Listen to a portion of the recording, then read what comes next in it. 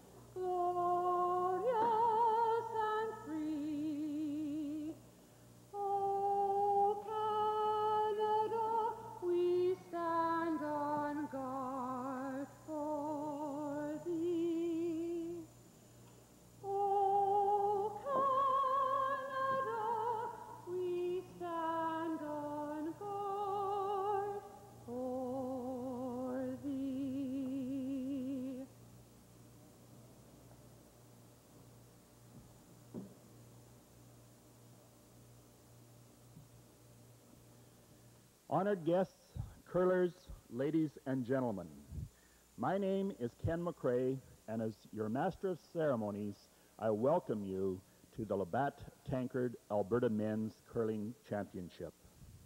We look forward to six days of great curling, fun, and festivities.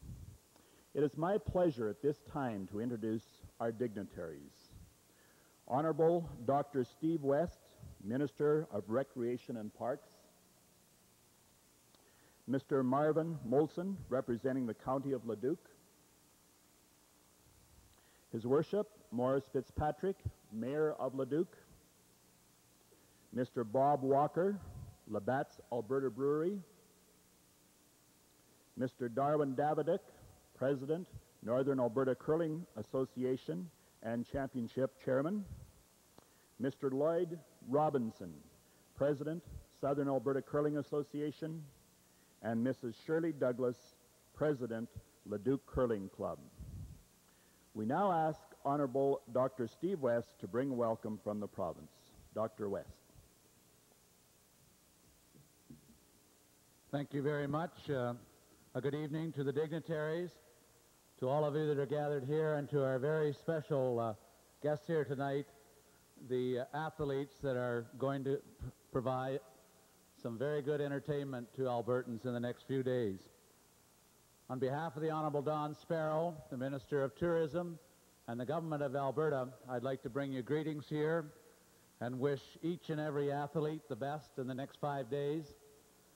I would also like to thank Labatt's for bringing forth the, uh, the heritage of Alberta, this fine tradition of curling that we've enjoyed so much over the last few years, and we have been well represented uh, following this sort of an event as we go on into the Brier in Canada. I would also like to personally uh, uh, wish uh, the Kevin Martin Rink the best in Albertville. Uh, I have a little bias. Uh, I, Kevin and his family originate from my constituency of Vermilion Viking. Good luck to you all.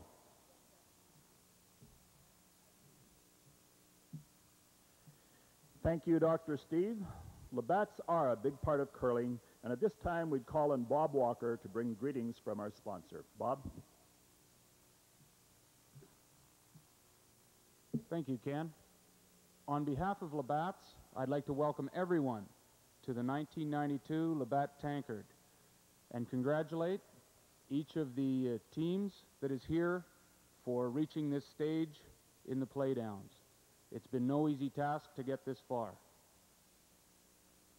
I'd also uh, like to uh, thank our chairman and his host committee, uh, Mr. Darwin Davidock, and uh, all the volunteers have put in a lot of effort in getting the event to this stage, and I'm sure you're going to enjoy everything that they have planned for this week.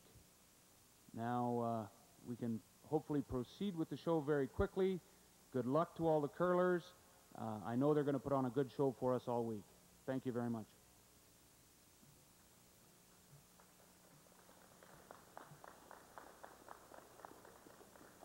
Thanks, Bob. At this time, I'd like to call on the always entertaining and sometimes controversial Darwin Davidoff, President of the Northern Alberta Curling Association and Championship Chairman. Darwin? Thank you, Ken. Greetings to all, dignitaries, curlers, ladies and gentlemen, boys and girls. The 1992 Labatt Tankard is jointly organized by the Leduc Curling Club and the Northern Alberta Curling Association. Shirley Douglas, president of the Leduc Curling Club, myself and our hundred some volunteers extend a hearty welcome to everyone to this Alberta Men's Curling Championship. This playdown is destined to be a milestone in Alberta curling. First, the playdown format has been changed from the very popular modified triple knockout to the very successful round robin with playoff format that is used in the Labatt Brier. Secondly, every game in this championship will be telecast live by our friends from Shaw Cable. This combination is intended to create a Brier type of atmosphere which not only will better prepare the Alberta champion for the Brier, but will also promote the sport of curling at a higher level. The conditions here in Leduc are perfect for selecting the best of the best in Alberta's men's curling. We are confident that from this great array of curling talent will emerge a championship team that will defend the Brier Championship in Regina in a fashion us Albertans have become accustomed to, the best in the country. Again, we welcome everyone to Leduc and remind that our volunteers are on the ready should any curler or fan require assistance. If you need help, ask someone wearing this volunteer sweater. Before closing, I would like to make a special request. This curling season is extra special because curling is a demonstration sport in the 1992 Olympics in Albertville, France. Canada's representative is the same Kevin Martin team that is playing this week in Leduc. They leave for the Olympics in a couple weeks. Can we all give them a hearty cheer and wishing them good luck and good curling in the Olympics?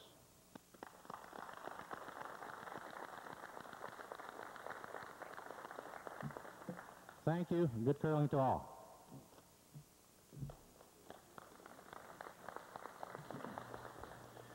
Thanks, Darwin. And as Darwin so aptly put it, we're in Leduc this week to declare a provincial champion to defend our Brier Championship at the Labatt Brier in Regina. It is my pleasure to introduce at this time the teams that have won the right to compete in this playdown. Representing the Peace Curling Association and from Grande Prairie, Michael Vavrick, Kurt Balderston, Ralph Brust, and Daniel Lemieux.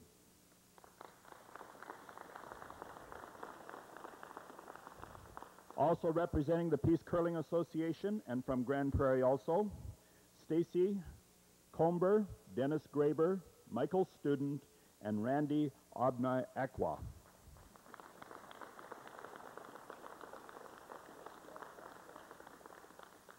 Representing Southern Alberta Curling Association and from Calgary, Alberta, Brian Costain, Bob Parrish, Jeff Parrish, and Peter Rogers.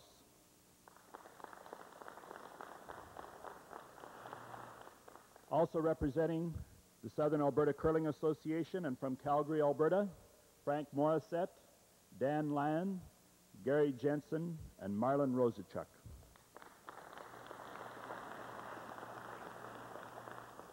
And the third team from SACA, from Lethbridge, Alberta, Doran Johnson, Corey Perrin, Rob Armitage, and Terry Hamilton.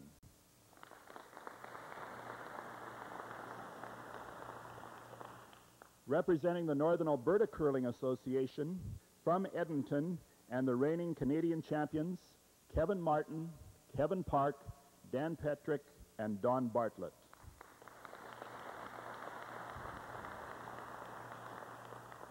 Also representing the Northern Alberta Curling Association from Leduc, Alberta, David Stewart, Kelly Kajewski, Terry Sock, and Richie Hipkin.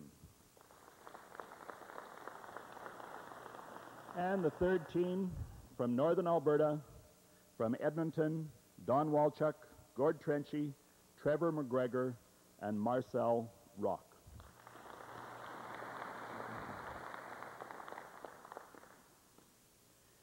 We have three celebrities with us today who have served curling as competitors and as excellent promoters of the sport over the years. Marv Schmidt and Gil Svensson were part of a well-known local team that played the hitting game better than anyone of their day. If they got up to, the game was over. Wes Montgomery Sweeping, with the corn broom, has probably done more than anything else to promote the brush. Wes will deliver the rock. Gil will be in his familiar position holding the broom, and Marv once again will do all the work. Gentlemen.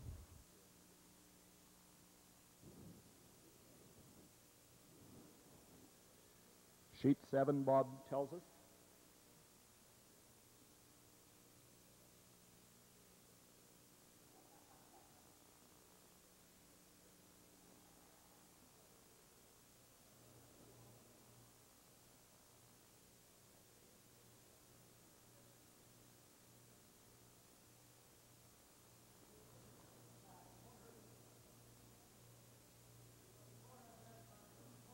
Wes Montgomery, the honorary president of the NACA, is in the hack.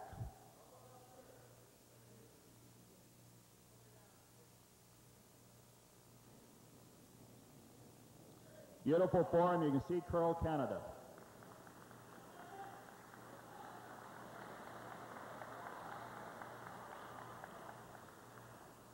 Coming into the house, Another perfect shot by Mr. Montgomery. Right to the button.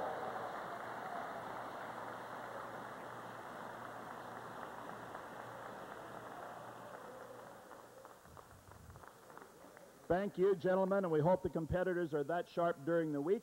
I'd like to take this opportunity to wish all the competitors good curling, and I now declare the playdowns officially opened.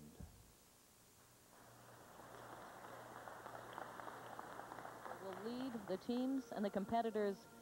The official bagpiper is leading the competitors and the like off the ice. Very good job by Ken McCrae, the master of ceremonies. Uh, he's uh, was the president of the Air Curling Club, and he's now the second vice president uh, of the NACA and uh, uh, an avid curler himself. And those bagpipes, the sound of that, you know, you, like I, have both been at Canadian Championships, Hector, and there's nothing quite that can get you more pumped for a game. Well, even when you're not playing in it anymore, uh, it still gets you pretty excited. It's uh, not many things gets me excited, but uh, that's what Helen said. Way to go, Jack. You set that one up. I couldn't miss that but, one. Uh, it's uh, it's a great feeling, and to a curler, it seems to get the, the blood uh, moving a little faster than normal, and there should be some great curling on here. I haven't seen the ice working, but talking to Kevin at the practice, he said it was very nice ice, good ice to come around on, and very good hitting ice.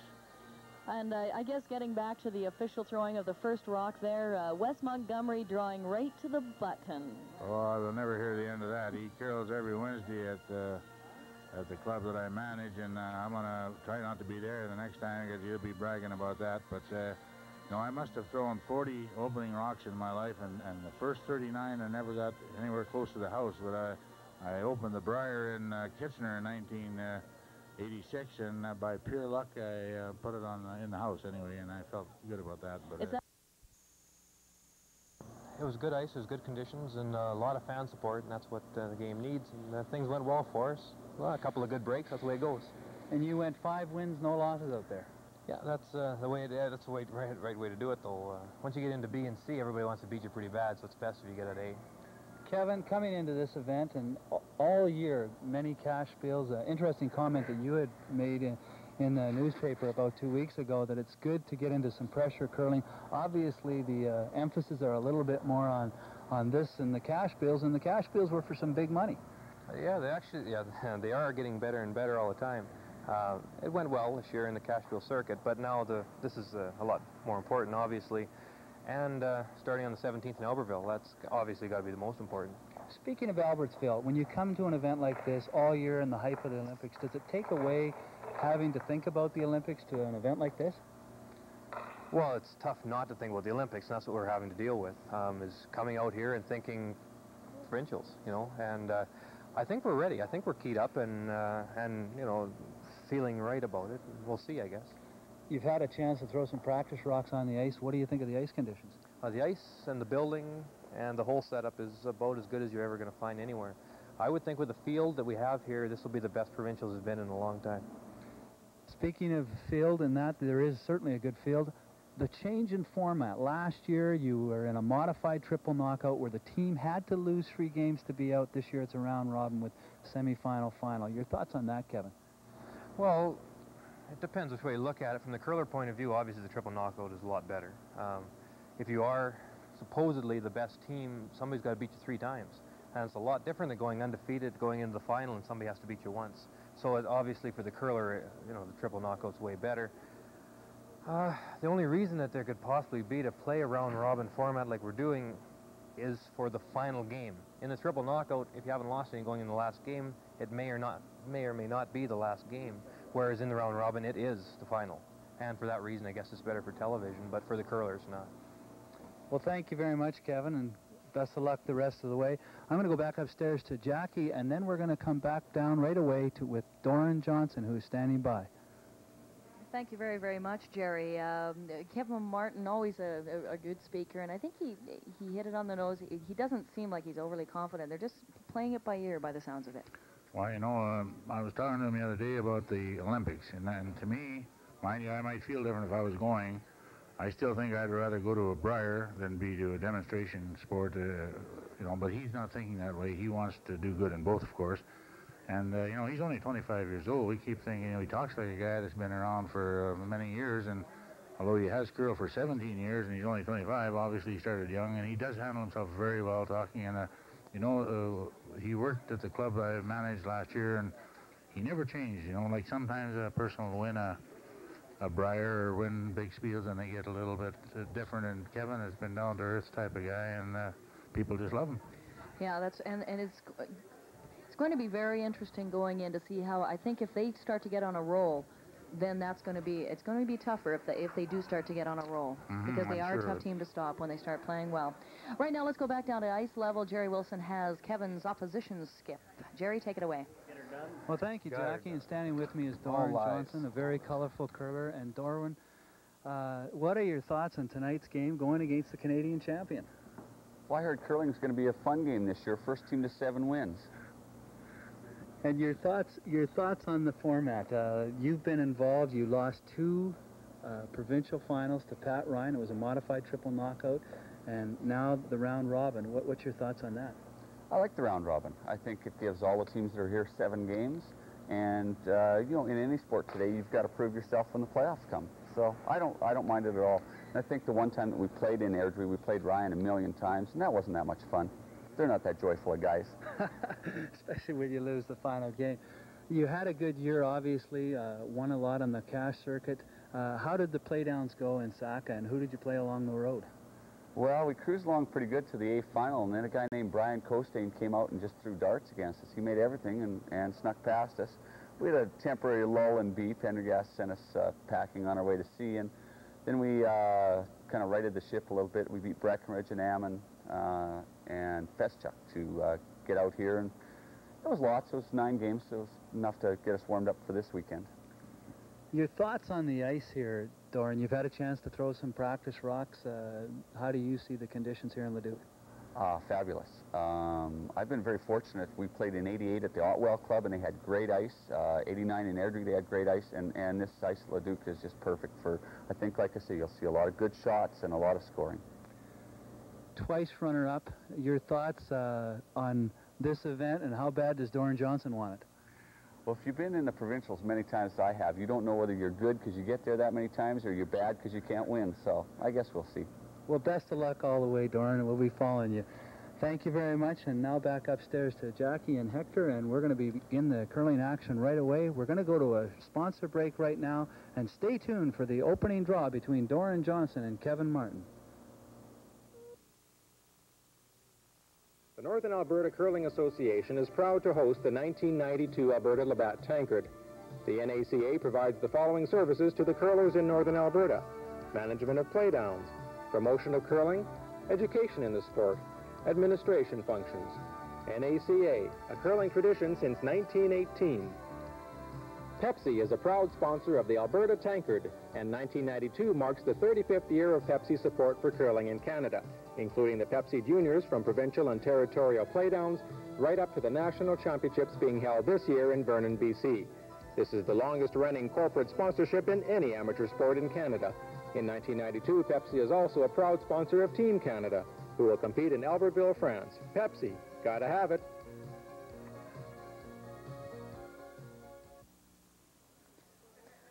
Good evening.